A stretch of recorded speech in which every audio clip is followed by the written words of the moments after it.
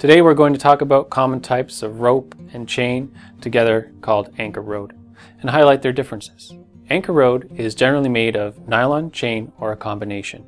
Nylon rode, such as what I'm holding here, is used in most anchor rodes and is valued for its lightweight and elasticity. Nylon anchor rope commonly comes in a couple of varieties, twisted and braided.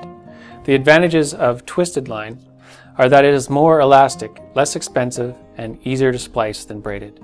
The advantages of braided line are that it is stronger, looks better, and is easier on the hands.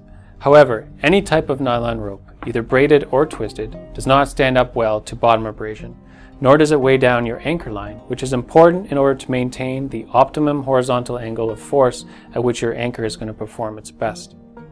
Chain does both of these jobs well. So you should add a section of chain to your rode.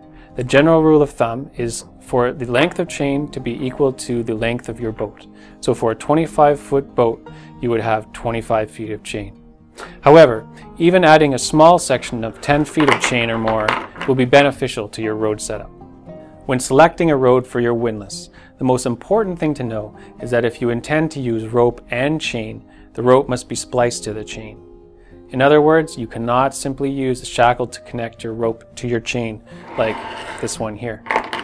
You can either buy a pre-spliced rope and chain package or you can splice the rope to the chain yourself. Splicing three strand rope to chain is easy to learn, but if you feel more comfortable, generally any local marine store can do this for you for a fee. In terms of what size of rope or chain you need, refer to your windlass manual. Most windlasses will generally accept only one size of rope and chain. To give you an example, a half inch rope with quarter inch chain is a common requirement for small pleasure craft windlasses. If you don't have your windlass manual, determine the model number of your windlass and either call the manufacturer or do a Google search for it. One of the most common areas of confusion with our customers is determining what the difference between chain types is. The confusion rests in the fact that not all chain is the same, even if it is the same size. For example, quarter inch HT chain, also called high test or G40 chain, is not the same as quarter inch BBB, also called G30 chain, nor is it the same as quarter inch proof coil chain.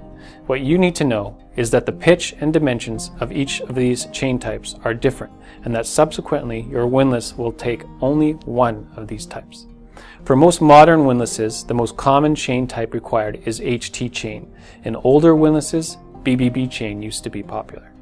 Again, refer to your windlass manual and remember, it will require a specific chain type, most likely HT.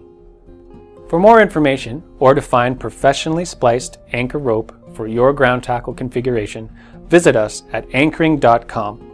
Thanks for watching. I'm Mark Hutchison for anchoring.com. Happy boating!